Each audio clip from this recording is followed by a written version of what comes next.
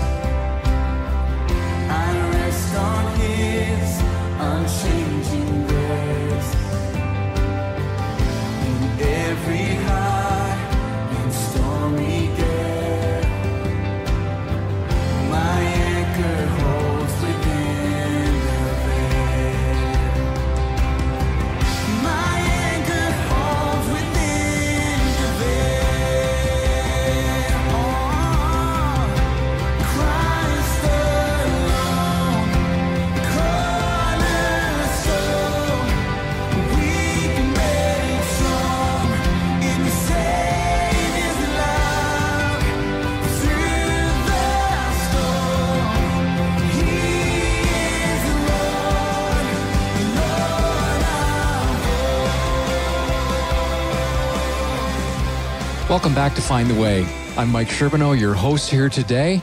And uh, with us in the studio is uh, Dr. John Radford. John, thanks again for being here today. Last week we talked about forgiveness. We're going to talk a little bit more about it today, but especially under the topic or under the banner of a label. I was going to say under the label of labels. that would work. Let, us think about labels for a moment. Um, it's a real challenge, isn't it? How labels get put upon us and we don't know how to get rid of them.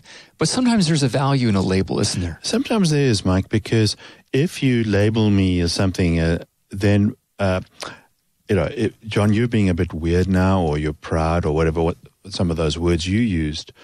Uh, maybe I need to just think about it for a second. Uh, say, wonder why Mike's saying that, or wonder why they're saying that. And the reason why I say that's important is because if I stop and think about it, th- there might be some truth in that label, or even if it's totally not who I am. I got one for you. Checking it. Yeah, go. Workaholic. Right. okay. What are you going to do with that? Yeah. So it, workaholic, I've got to stop for a moment and say, John, am I a workaholic? Uh, yeah, there's a part of me that is.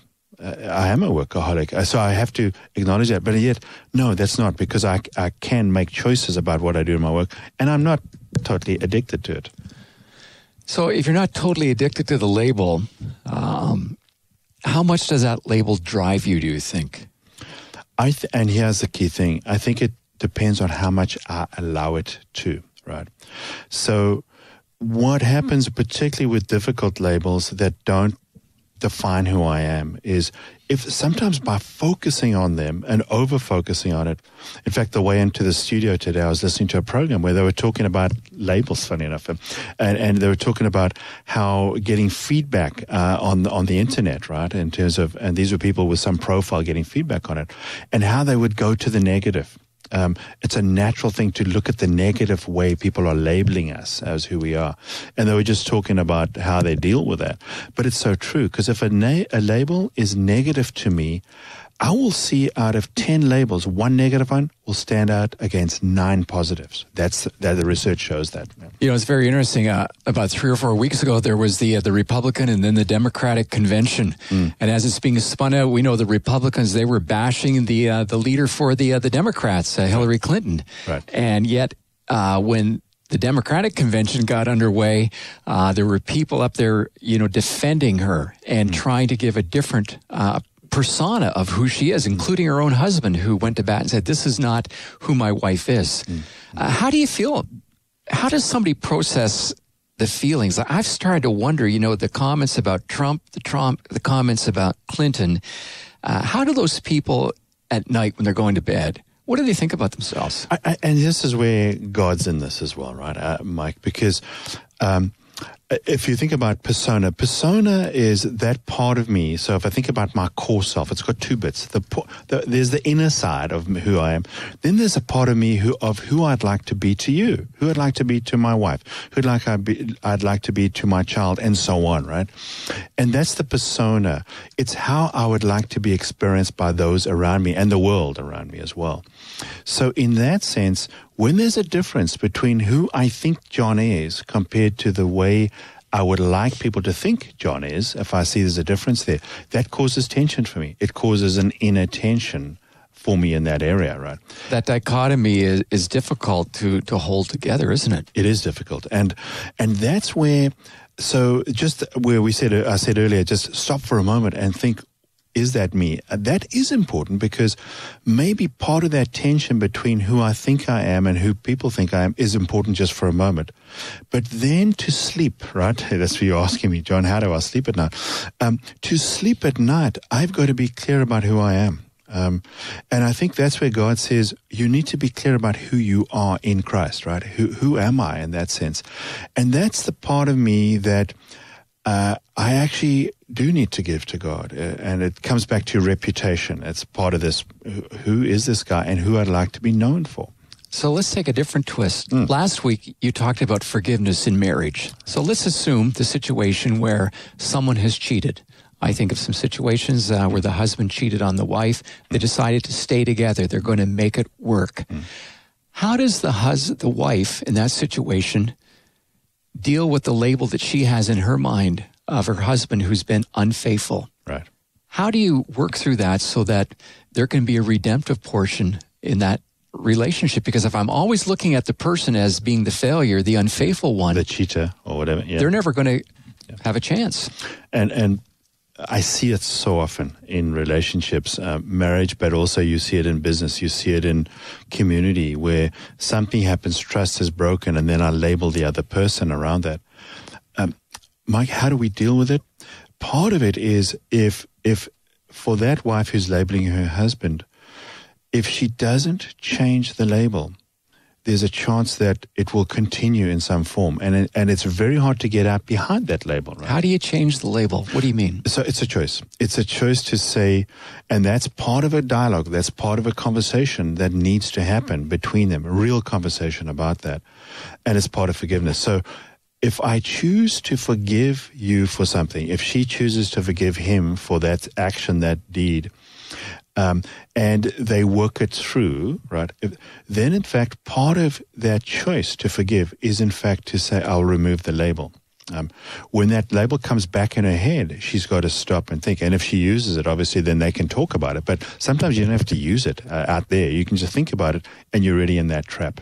So what do you do? Do you pray about it? Do you is there something that you do? Do you sprinkle magic dust to uh, get rid of the thoughts? I wish there was a pixie dust trying to get. Yeah. No, I, I, think it is. I think it is prayer. I think it's saying, um, you've actually got to give part of your hurt to God. Uh, that's what it. So if if if I so let's say I'm the one who's being labeled, um, what do I do with that? There's a part of it that you can't just change people's perceptions overnight. I mean, because sometimes you don't have the opportunity. Sometimes people, if I think of the media today and the impact of social media, I heard again a report this week of that young girl in Victoria who who killed herself many years ago now, and right. a young person writing a song, I think in, in Europe somewhere about that, right, uh, for her.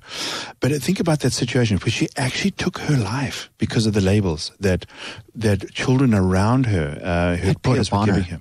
That's right. Yeah, yeah.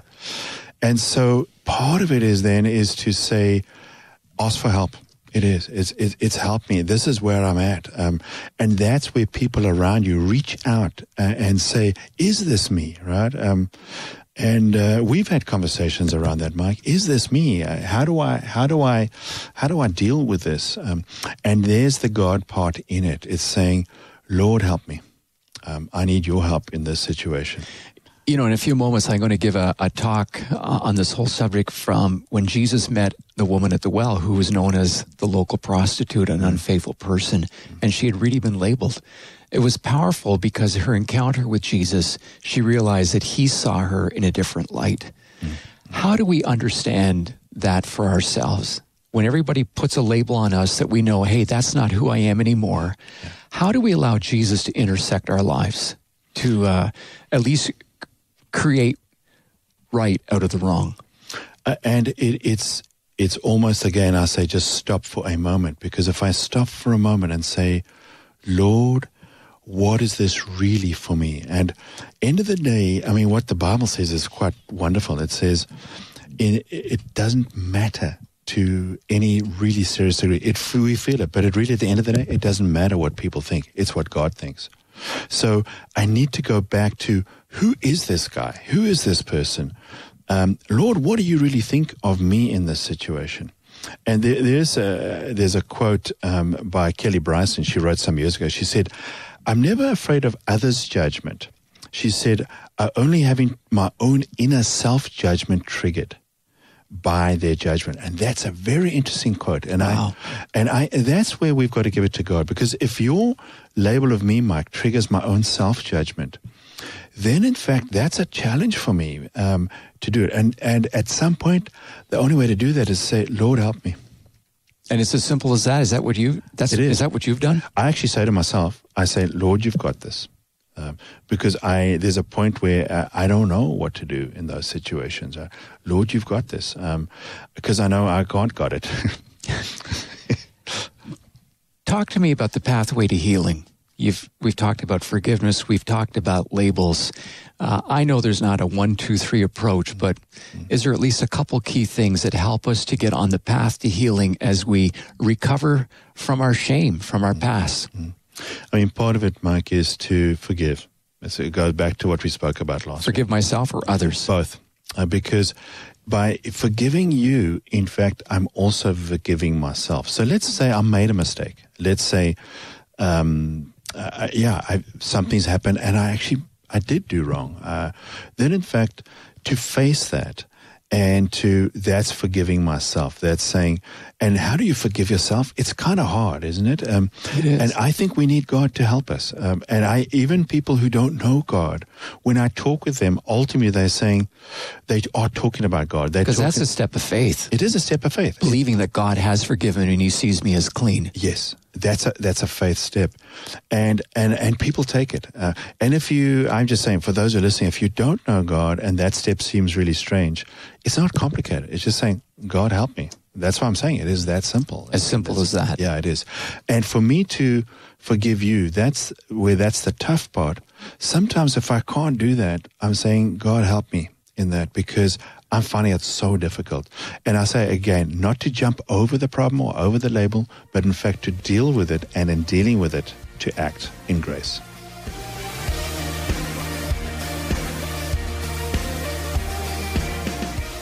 Well, as we begin today to think about the labels that you've worn in life, sometimes those labels have uh, sounded like the optimist, the pessimist, brainy or dumb, married, single, divorced, faithful or unfaithful, promiscuous or prude, extrovert or introvert, educated or non educated. How have those labels shaped you and impacted your life choices? Some of you have lived up to them, others of you have thrown them out. And some of us go through life getting bitter rather than getting better. And some see what has happened to us as a sentence rather than a gift. The labels seem oftentimes to haunt us. And oftentimes we live up to their reputation. But that doesn't have to be the case. I think of the disagreement between two Christian brothers. We find their story in the New Testament. It was Paul and Barnabas. It was over a young intern they were taking with them on a ministry whose name was John Mark. And you can read the story in Acts chapter 15. On a previous trip, Mark had deserted them, and now Paul didn't want to take him, but Barnabas did. And the Apostle Paul, by his choice, hung a label over this young man's head, that of a failure or a quitter. But at the end of Paul's life, we find him writing in 2 Timothy 4, verse 11. We hear now the old man Paul saying, Only Luke is with me. Will you now get Mark and bring him with you, because he is helpful to me in my ministry? Mark had the sign of a deserter hung around his neck when he was a young man, but now it had changed to someone who was faithful. This morning, we come to a story out of the life of Jesus about a woman who had been labeled. The woman in our lesson becomes someone that we're drawn to because her journey is something we can all identify with. She had a story that was filled with innuendo. The fact that she had had five husbands and was living with someone could speak volumes. It would be easy for our minds to rush ahead and cast a judgment, and we think, ah, oh, that's content for a good Harlequin romance, and we would want to throw stones. But before we throw stones, think about the label that we want to put on her and that maybe has been put on you. A little while ago, I saw uh, a spread in the Vancouver Sun. Uh, it talked about the challenges of Monica Lewinsky, who made what someone referred to as a youthful error in the 90s. Somehow, the President of the United States got away with his unacceptable behavior, but Monica became cannon fodder for late night talk shows and faced incredible obstacles in getting work after her fling.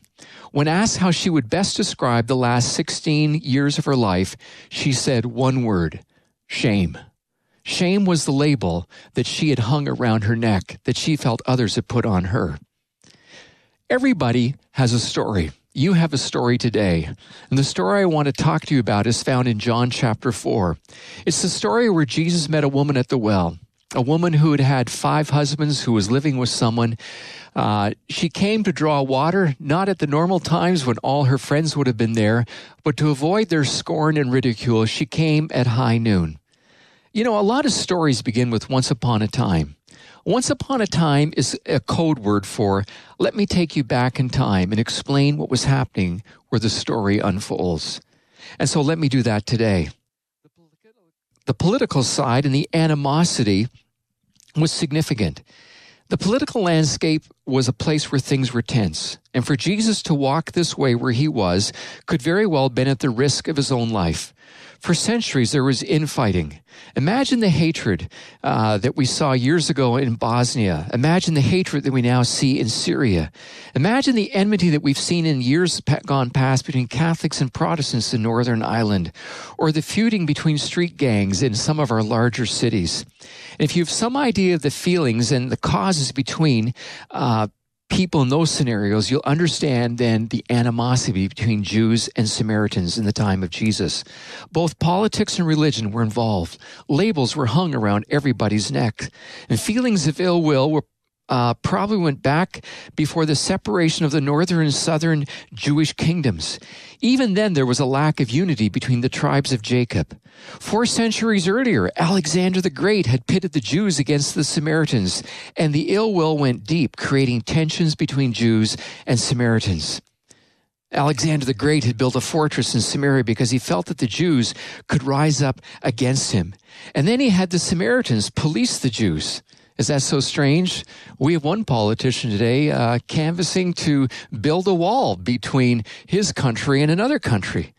So even four centuries earlier, before Jesus uh, walks into Samaria, tension was building. And for Jesus and his disciples to walk into Samaria, there was great tension and animosity. It's with those centuries of opposition and the incidents behind their people that we can understand the surprise of the Samaritan woman. When Jesus comes to her, and we read in verse 9, he says, Will you give me a drink? And the Samaritan woman said, You're a Jew, and I'm a Samaritan woman. How can you ask me for a drink? Because she knew the Jews didn't associate with the Samaritans. And then Jesus says these amazing words that began to lift the label that was around her neck. He said, If you knew the gift of God and who it is that asks you for a drink, you would have asked him, and he would have given you living water. Jesus comes to Jacob's well and he meets this woman. This landmark is still significant today to historians. It's where Joseph was buried, and it would have had meaning for some, uh, just as the Vatican has for others today. It's a place where people know for certain that Jesus was there. Why is that important to us? Because it's at this historical marker that Jesus said, I'm going to remove the labels. I am the one who can change your reputation. He's the one who can change my reputation and yours today. The well became the place where the, the woman could either be avoided or met. As I said earlier, if she had come early in the morning to, or late at night, she would have ran into people. But the fact that she comes at midday means she was trying to disassociate with anyone who would point a finger at ridicule for the reputation that she had. If you were looking to find a wife, well, you would go down to the well early in the morning or late at night. That's where the good girls would hang out. But if you went at midday, it means you were looking for someone that you could pay a few shekels to for a good time. And so she goes to the well to avoid confrontation and ridicule, but Jesus decides to meet her. And I want you to know today that regardless of what the label is around your head, whether it's shyster, whether you had an abortion, whether you're a prostitute, whether you're a drug addict, whether you're a swindler, whether you've been unfaithful, you put the label. Jesus wants to change the label. This lady comes to the well because obviously she's thirsty. Uh, her reputation has dogged her throughout the life, but the reality is that she's physically thirsty and she's emotionally dry as well. And she comes to the well at midday because she needs water. And there she meets the Son of God, who in all his humanity is also both tired and thirsty. What would have been normal would have been for a Jew in this position, as Jesus was, to barter for the water and have her draw it. Instead, Jesus humbles himself and he asks her for a drink. The humility of Christ is seen here, and it becomes a crack in the door for the woman to wonder who really is this man? And as is the case anywhere, conversations start around mundane, uh, earthly subjects such as water and husbands. And Jesus presses the woman to find out what exactly these things mean for her. Woven through this section are two challenges and questions that are posed by Jesus.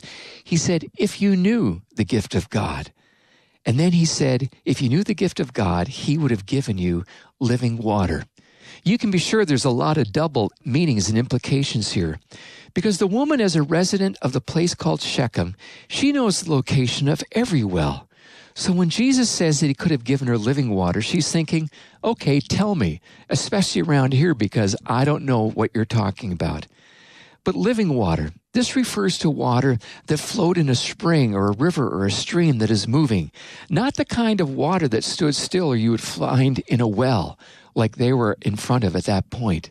Living water was precious and valued, and according to rabbinic law, was the only water that could be used, get this, in the ritual washings to make pure those who were impure. Getting the picture? she's an impure person. And she's thinking, is there something that can wash away my reputation, can wash away my sin? Everyone knew the area of Shechem had no rivers or streams. Even Jacob had to dig a well to water his flock centuries before. How could a Jewish outsider who barely knew the terrain offer water that no one else had found?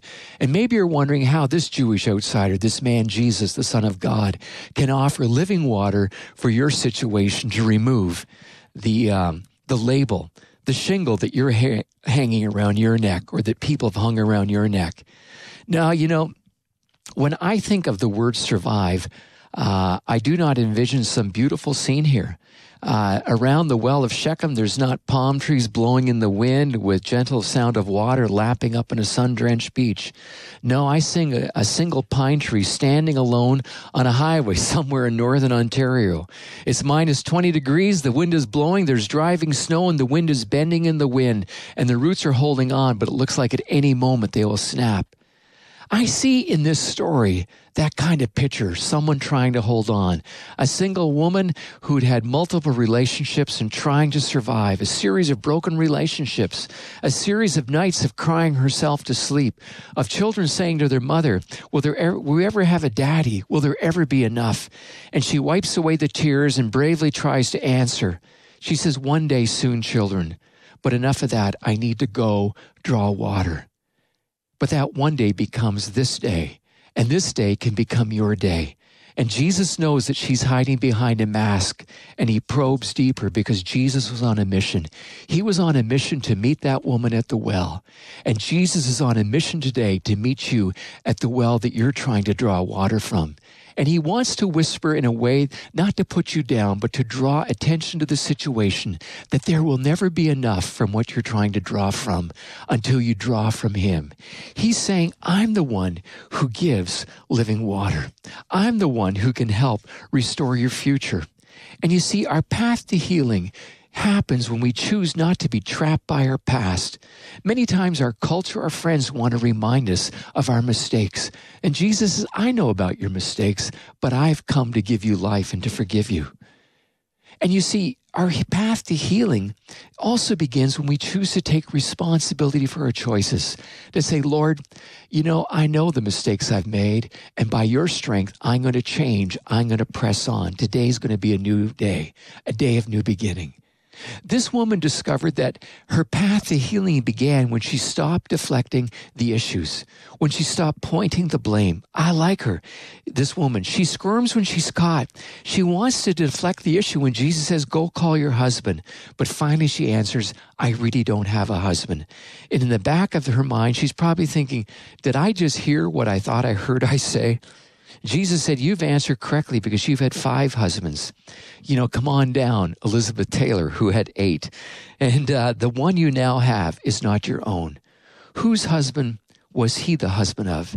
Sounds like that the guy she was shacked up with was likely just as thirsty as she was. I don't know the relationship you're in, I don't know your situation. But I want to encourage you to choose to be in relationship with Jesus because when she made that decision, she began to discover and experience the living water that Jesus said only He could provide. There was a great preacher by D.L. Moody who once said, God sends no one away empty except those who are full of themselves. And I, I believe that as you're listening today to this broadcast, it's possible that you've come to a point where you say, I'm just empty of myself. Lord, you know my label. Will you come into my life today and help me to change it so that I can follow you.